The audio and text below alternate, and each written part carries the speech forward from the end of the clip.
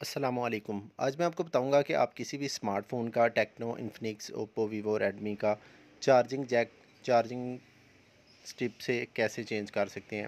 میں اس کے لیے ایک لیٹر اور کاویہ کا یوز کروں گا، کسی بھی ہیٹ گن کا یوز نہیں کروں گا۔ سب سے پہلے میں نے اس کو باہر نکال لیا اور لیٹر کی مدد سے جیک کو ہیٹ دی ہے۔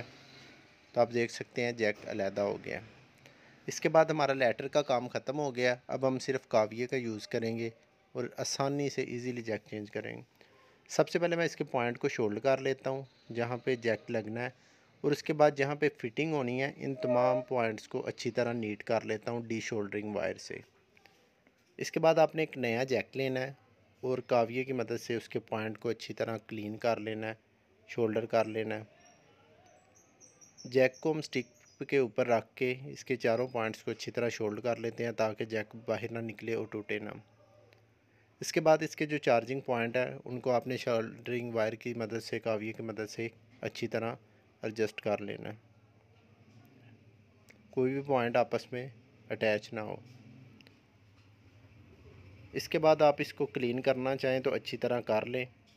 اگر نہ بھی کریں تو مسئلہ نہیں ہے، لیکن کلین کرنے سے کسٹمر آپ کو اچھا فیڈ بیک دے گا۔